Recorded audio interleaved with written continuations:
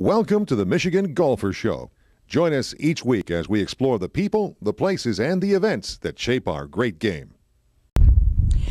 We're Michigan Golfer TV, and we're at Travis Pointe Country Club, which will be hosting the LPGA Volvik Championship on Memorial Day weekend. This year, it's the inaugural one. And with us, on my right, is Mike Areddy, the head pro here. How you doing, Mike? I'm doing great, thank you. And on my left is Bill Newcomb, who's the architect of this course at Travis Pointe. How are you doing, Bill? I'm doing great, thank you. Well, it's so exciting to have an LPGA championship coming to Southeast Michigan, especially in an Olympic year. So, what should you expect? And I would say the answer is one word Olympics. Now, I'm not saying we're going to bring, you know, the five rings, but we're going to be a lot like your Olympic experiences. And what I mean by that is the LPGA is the tour in women's golf. I'm not saying that because I'm the commissioner. I would say that because I'm the commissioner. I'm saying that because it's true.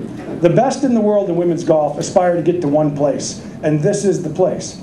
They do that at the prime of their playing career. If you think about the Olympics, you take young athletes at the absolute best of their career and you pit them together to find out who's the best in the world. That's what the LPGA does week in and week out.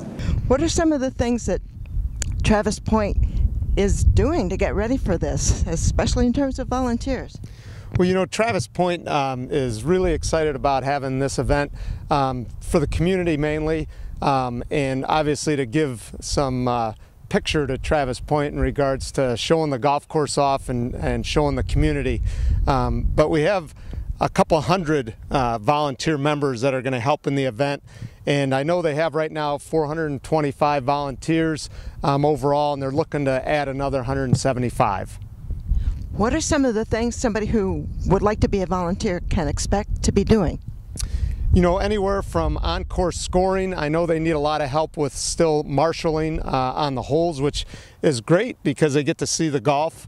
Um, but all kinds of things from transportation to uh, to helping with the catering and, and different things like that. And Bill, what are the ladies going to see when they get to the course? Well, I think they're going to see a lot of good golf holes. Uh, we designed the course uh, uh, especially for varied, uh, varied types of shots. Long shots, short shots, easy shots, hard shots. I, I hope they experience every one of those. well, that brings to mind that you were one of the people who really started putting a lot of tees instead of just basic three. There, sometimes five, sometimes six.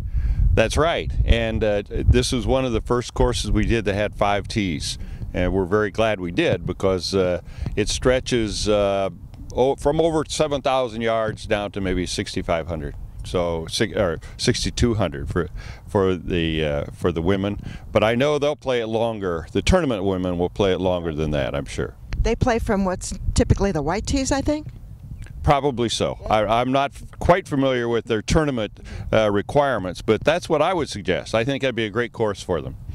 Well, one of the things that's always interesting about an LPGA tournament as opposed to a PGA tournament is how accessible the players are, especially at the Pro Am Day. Uh, can you tell us a little bit about that, Mike? Well, I know that. Uh, you know the, the women are definitely more accessible um, than the PGA Tour, and right now uh, they're planning on having upwards of 200 uh, amateurs playing the pro am, and what they do in the uh, in the LPGA that uh, each group will play with two separate pros. One will play the uh, front side, and then they'll change and play the back side with another pro, which is unique also. So everybody who's playing in the pro am gets a chance to play with two of them.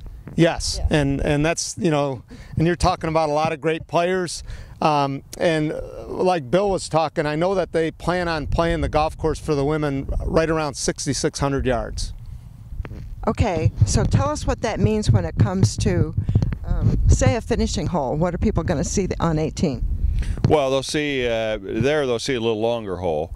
It's uh, one of the two longest holes on the golf course, which I think is great. But they have a lot of uh, variance on how to play the hole. I mean, they can gamble a little bit and cut it close and cut the yardage.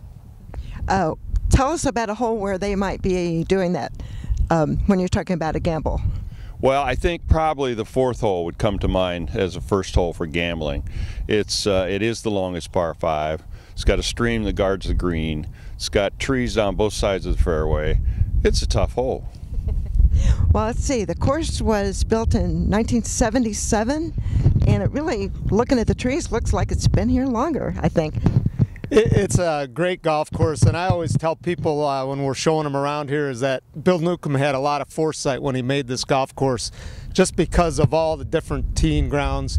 Um, like Bill said, I mean, we go almost 7,500 from the very back tees, and uh, since Bill designed the course, we actually um, shortened uh, the women's tees up to 5,800 yards.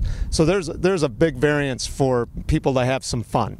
Well, that's great, not just for women, but for seniors, senior women, juniors, and it really is a way to get more people in a family involved in playing playing golf, right? Hopefully so. Yes, we're for that. well, Bill, I think one of the one time we saw you recently was up at Crystal Mountain for the Michigan Women's Open, and you were you were watching the players there. And uh, typically, I think they've been having that particular tournament there for quite a while. That's a hilly course. This is different, right?